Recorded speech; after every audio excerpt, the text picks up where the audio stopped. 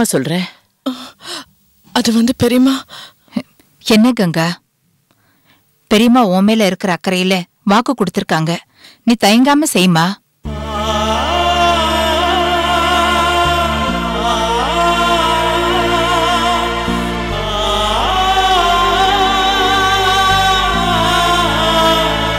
அக்கா நீங்க என் பொண்ணு மேல எவ்வளவு நம்பிக்கை வச்சிருந்தீங்கன்னா இந்த மாதிரி சொல்லிட்டு வந்திருப்பீங்க. அத நிச்சயமா கங்கா நிறைவேத்துவா. நீங்க ஐயாவோட கலந்து பேசி அம்மனுக்கு என்னைக்கு சாத்துறதுன்னு முடிவு பண்ணுங்க. சரி சுபு நான் போய் ஆக வேண்டியதை பாக்குறேன் சரிக்கா. வரேன் கங்கா. சரி பெரியம்மா வரேன் சாரு.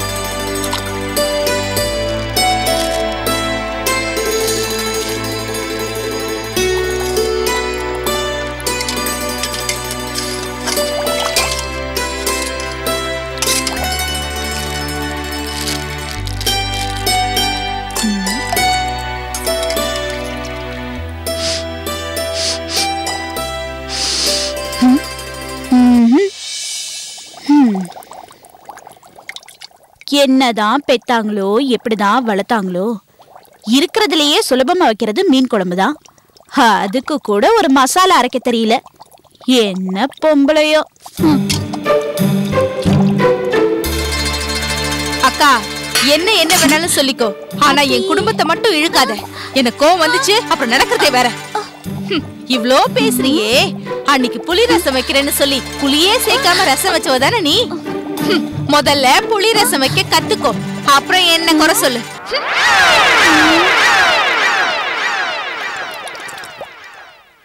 அடியே எல்லாம் கத்து கொடுத்து தான் எங்க ஆத்தா இங்க அனுப்பி வச்சிருக்காங்க. ரொம்ப பேசுன நான் கழுத்து வச்சு சூடு போட்டுருவேன். ம் போடுவ போடுவ. அது வரைக்கும் என் கை என்ன புளியங்க பறிச்சிட்டு இருக்குமா? ஜாக்கிரதை.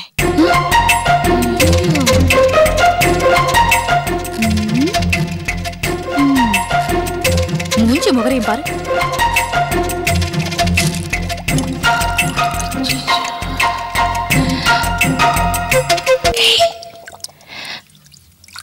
இளவச்சி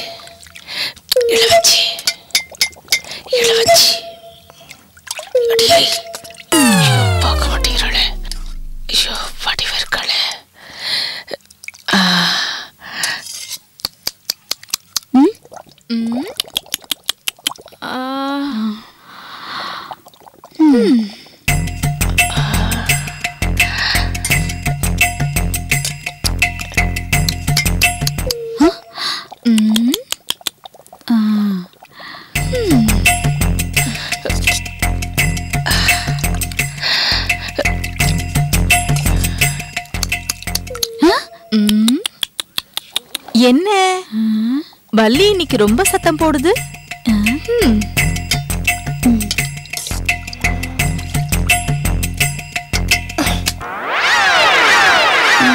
என்ன இது? கொசு கடிக்குது.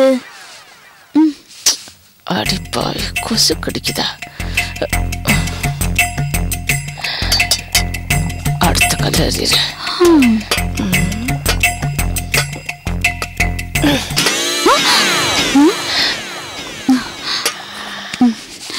ஏய் வாடி இங்க.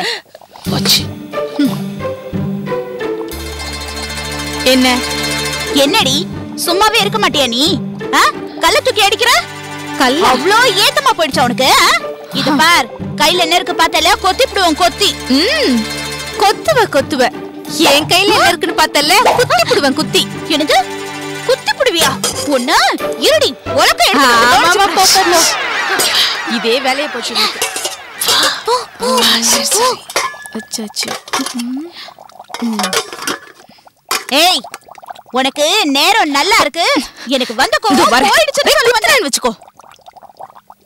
சண்டை போடுறதே வேலையா போச்சு இவளுக்கு. ச்சே.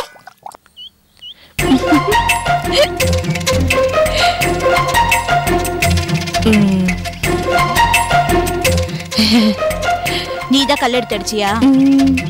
நான் அந்த வடிவு தான் நினைச்சு அவகிட்ட சண்டை போட பார்த்தேன். ஊருக்குள்ள நடக்க கூடாதெல்லாம் நடந்துட்டு இருக்கு நீங்க மீன் குழம்பு சமைச்சிட்டு இருக்க ஊருக்குள்ள அப்படி என்னப்பா புதுசா நடந்திருக்கு? விஷயத்தை கேள்விப்பட்டேன்னா உன் கழுத்துல இருக்கிற செயினை கட்டி எனக்கு போட்டுருவேன் முதல்ல விஷயத்த சொல்லு. செயினை கழட்டுறதா வேண்டாமான்னு அப்புறமா யோசிக்கிறேன். நம்ம நாச்சியார் அம்மாவும் கலெக்டர் அம்மா கற்பகமும் கங்கா விஷயத்துல மறுபடியும் நல்லா முட்டிக்கிட்டாங்க. கங்கா கருவை கலைச்சது கலெக்டர் செல்வக்கரனுக்கு தெரியும்னு நாச்சியார் அம்மா சொல்ல அதுக்கு அந்த கற்பகத்தம்மா கங்கா கருவை கலைச்சது என் பையன் செல்வக்கரனுக்கு தெரியவே தெரியாதுன்னு வாதம் பண்ண வாதம் விவாதமாயி விவகாரம் ஆயிடுச்சு கடைசியில என்ன நடந்ததுன்னு அந்த ஆண்டவனுக்கு தான் விழிச்சோம்.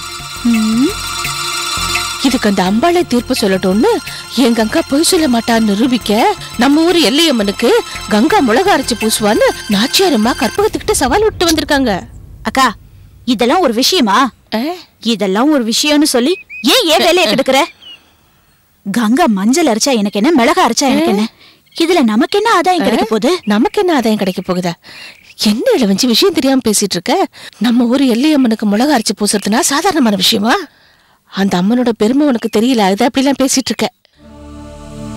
தப்பு பண்ணாதவங்க மேல யாராவது அமாண்டமா பழிய சுமத்திட்டா அவங்க அதை நிரூபிக்க அம்மன் மேல மிளகா அரைச்சு பூசுவாங்க. அப்படி பூசினா மிளகாவோட எரிச்சலும் காரமும் அம்மன் உடம்ப தீயா எரிச்சிடும் அம்மன் உக்கிரத்தோட உச்சிக்கே போய் உச்சிமா காளியா மாறிடுவா.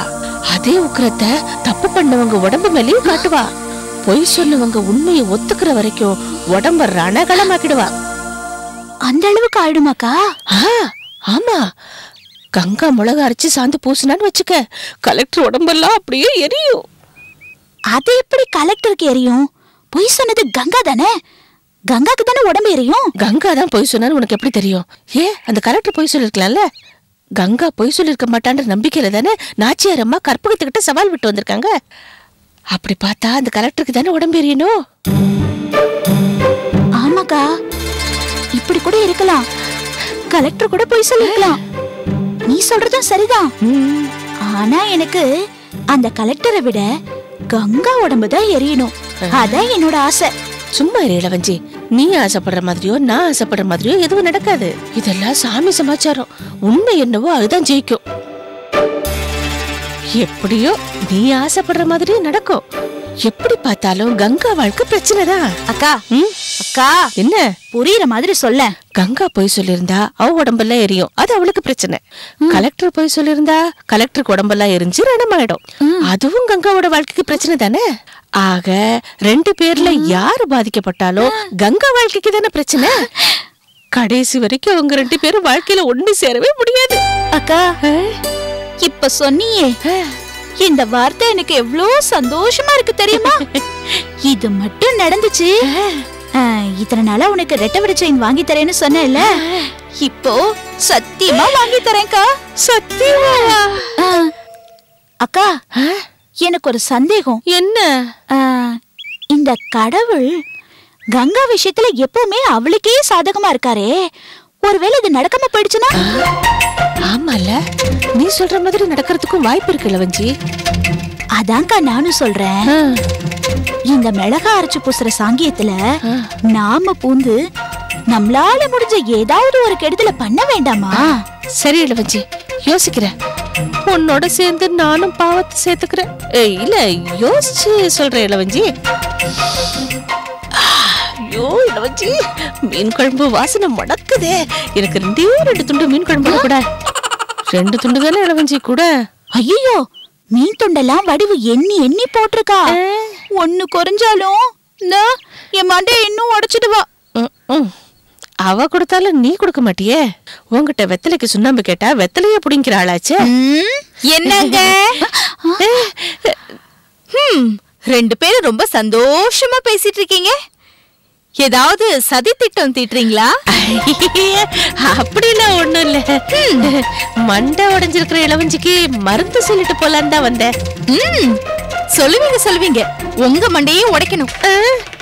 அப்பதான் நீங்களும் ஒழுங்கா இருப்பீங்க. ஐயா எனக்கே உங்க பொல்லாப்பு. நான் வரேன்டி அம்மா.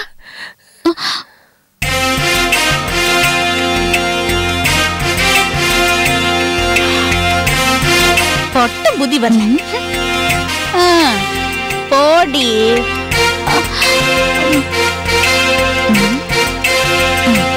இல்ல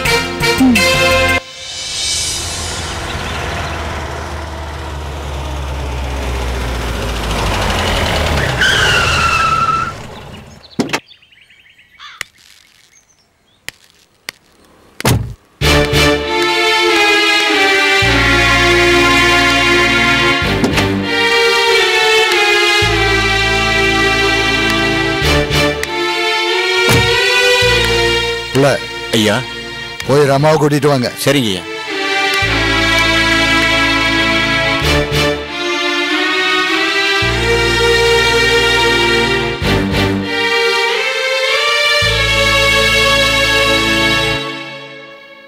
முத்தரசி அம்மா. அம்மா. யாரு? வாங்க புள்ள. நல்லா இருக்கீங்களா? என்ன இவ்வளவு தூரம்? அது அது வந்துமா? பஞ்சாயத்தார் தீர்ப்புப்படி ரமா அம்மாவை கூட்டிட்டு போக வந்திருக்கு. என்ன உளறீங்க பிள்ளை? உளரலிங்கம்மா உண்மையை தான் சொல்றேன். என் அண்ணன் மக என் வீட்ல இருக்கிறத தடுக்கிறதுக்கு யாருக்கு எந்த அதிகாரமும் இல்ல உரிமையும் இல்ல. அந்த உரிமைக்கு உரியவர் தாமா கூட்டிட்டு வர சொன்னாரு. பஞ்சாயத்துல தான் மகன் கூட பார்க்காம தீர்ப்பு சொன்னாரே ஐயா. அவர் வெளியிதமா நிக்கிறாரு. என்ன? என் அண்ணன் வந்திருக்காரு? ஆமாம்மா.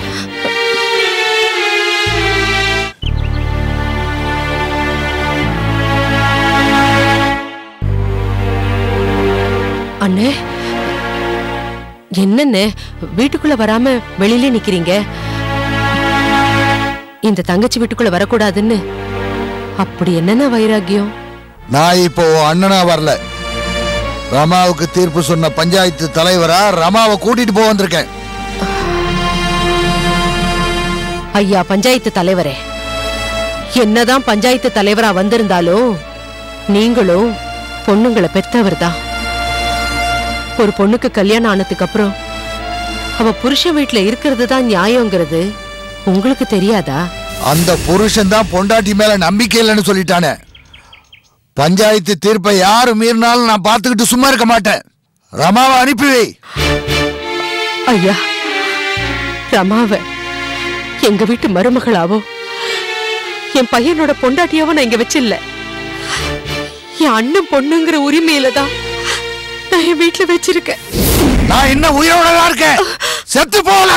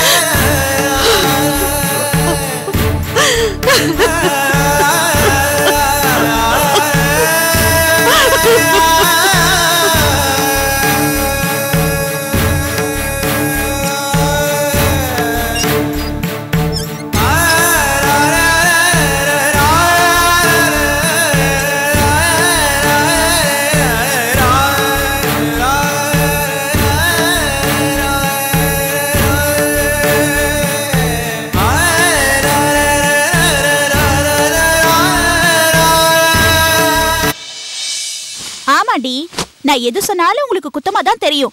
நாச்சாரத்தை வந்து சொன்னதுக்கு அப்புறம் நம்புவீங்க. எதையும் அவசரப்பட்டு சொல்றதே உனக்கு வழக்கமா போயிடுச்சு. என்ன நடந்துச்சுன்னு அத்தை வந்து தெளிவா சொல்லட்டும். அதுக்கப்புறம் பேசி முடிவெடுப்போம். அதுக்குள்ள ஏன் ஊதி பெருசாக்குற. இப்படிதான் என்ன எல்லாரும் சொல்லுங்க. அந்த கங்காவை நம்புங்க. அந்த கங்காவை நம்பி அத்தை கற்பகம்மா கிட்ட போய் அதுவும் எல்லையம்மனுக்கு மிளகா அரைச்சு சாத்துறதா? அவங்க விட்ட சவாலை ஏத்துட்டு வந்திருக்காங்க.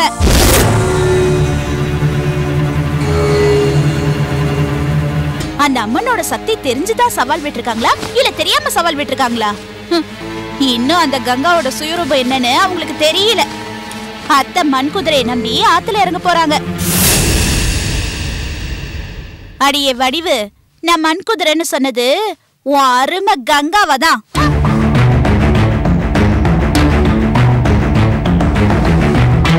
இளவஞ்சி. வடிவு. ஏ இளவஞ்சி.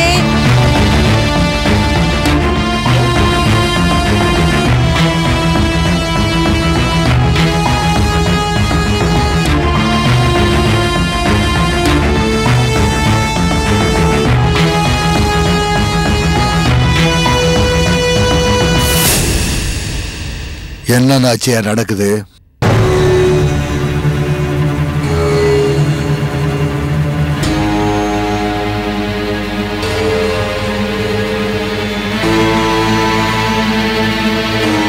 ஐயா. என்ன மன்னிச்சிருங்க ஐயா.